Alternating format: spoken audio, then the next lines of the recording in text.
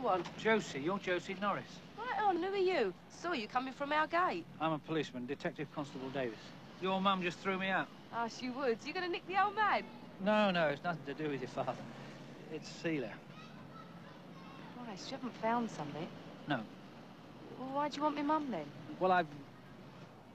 Well, we've reopened the case.